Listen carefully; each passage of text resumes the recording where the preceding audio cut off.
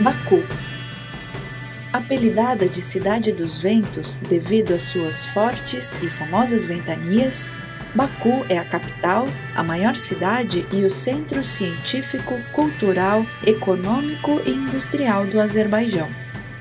A cidade, que de 1920 a 1981 permaneceu sob domínio da antiga União Soviética, teve no início deste século parte das antigas construções tombadas pela Unesco como Patrimônio da Humanidade.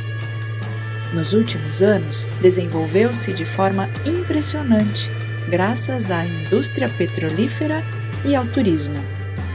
A população urbana de Baku é de 2 milhões de habitantes, com mais de 153 mil deslocados internos e 93 mil refugiados.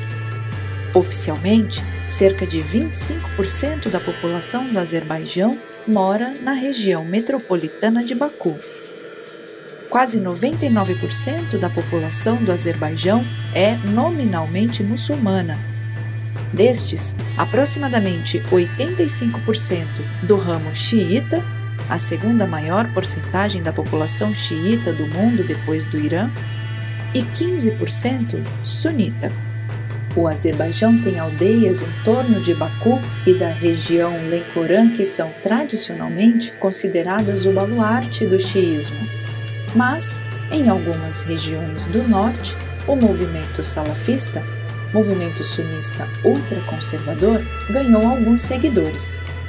Segundo um levantamento do Instituto Gallup de 2010, 49% dos azerbaijanos responderam não à pergunta: a religião é uma parte importante da sua vida cotidiana? É uma das taxas mais elevadas de muçulmanos nominais entre países de maioria muçulmana. Os cristãos, cujo número é de 280 a 450 mil, são em sua maioria russos e georgianos ortodoxos e armênios apostólicos, Existe também uma pequena comunidade protestante de azerbaijanos com cerca de 5 mil pessoas, a maioria de origem muçulmana. A nova Constituição do Azerbaijão concede liberdade religiosa e afirma que não há religião estatal. Porém, cristãos evangélicos e crentes de origem muçulmana enfrentam perseguição acirrada do Estado, da família, dos amigos e da comunidade. Senhor, que a cidade de Baku se curve perante ti, que ela cante louvores a ti, pois tremendos são os teus feitos para com os filhos dos homens. Que os teus olhos vigiem a cidade de Baku, que não se exaltem os rebeldes. Bendize, ó cidade de Baku, ao nosso Deus. Faz ouvir a voz do seu louvor, conforme Salmo 66, 4, 8. Oremos. Ore para que Deus envie mais obreiros, pois, por causa da pandemia, muitos deles tiveram que sair do país e não voltaram mais. O povo, em geral, é aberto para relacionamentos, mas tem dificuldades de aprofundá-los.